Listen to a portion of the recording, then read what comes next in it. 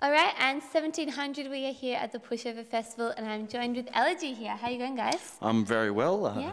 yeah. Thanks for thanks for coming. That's all right. Anytime. ah, thanks. And um, so Allergy is actually the second project you've worked on. You started off Yeah. with Arcs when you were only 13. Yeah. So how far have you come? Like you've already had a few decent years behind you. Yeah. The um started off when I was about 12, 13, and it was pretty much mucking around at that point, writing lyrics just over YouTube instrumentals and that kind of stuff. And then um, a couple gigs here and there. Started getting serious when I was about 15, 14, and then had to change my la- my name last year from Arcs. So um, Allergy is kind of the new beginning, fresh start kind yeah, of thing. Yeah, right. You described it as being reborn as a better. Yeah, entity. yeah, exactly. What What do you mean by better? What's better? About Um, Initially, as you can imagine, I'd be, I was pretty annoyed that I had to change my name, but um, silver lining and everything. yeah. So new beginnings, got to start afresh with everything. No one knew who I was. So have you been we're working together since early days? Yeah, or is this more uh, recent? Or- Sort of. Me and Dive have been working past year. So as we speak, you're actually working on a new EP, is that right? That- Uh, sort of. sort of. Yeah, we've got.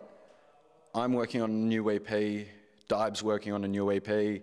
Got a mixtape coming out together, hopefully later this year. And you're doing See where it goes. Manic as well. How's that experience going? What can we expect? From Oh, um, me and Manic and I have not had contact because I've just been kind of busy with year 12.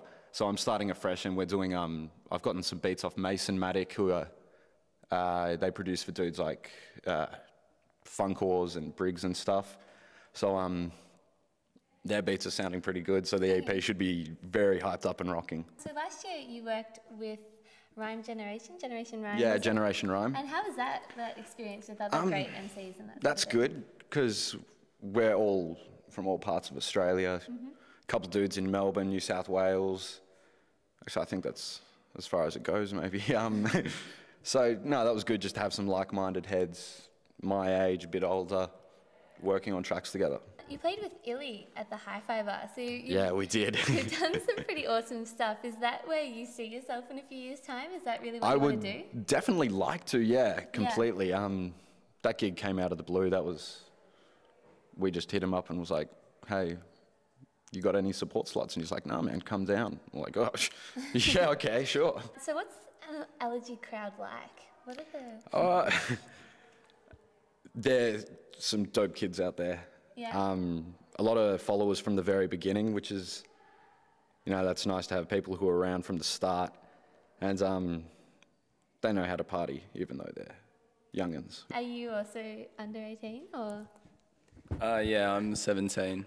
How are you finding that with doing year 12 and VCE and also doing all these gigs and writing music? Is Yeah, it's really hard to juggle it. I've got a part-time job as well, so. Oh, wow. Um, but yeah, no, I always ti find time to write some music and get into the studio because my dad's got a studio. Well, thanks so much for coming and chatting to us today, guys. That's all right. And uh, have a good show today. I'm sure it's awesome. Excellent. Thank you for having um, us. I'm Georgia. This is Allergy and Dive, and we're at the Pushover Music Festival. Yeah.